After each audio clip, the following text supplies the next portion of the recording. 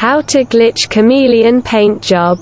Make them even doper than they are. Create your own two-tone modded chameleon colors. Important, it works only in LS Custom. Don't try it in any owned garage like Autoshop, Arena, Car Meet, etc.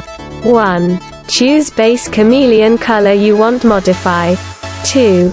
Go to metallic colors. 3. Scroll down metallics for a few seconds. 4. Back twice. 5. Choose crew emblem. 6. Buy it and remove. Double click.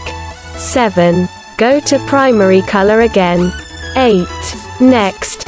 Pearlescent. 9. Choose right and matching color. 10. Enjoy.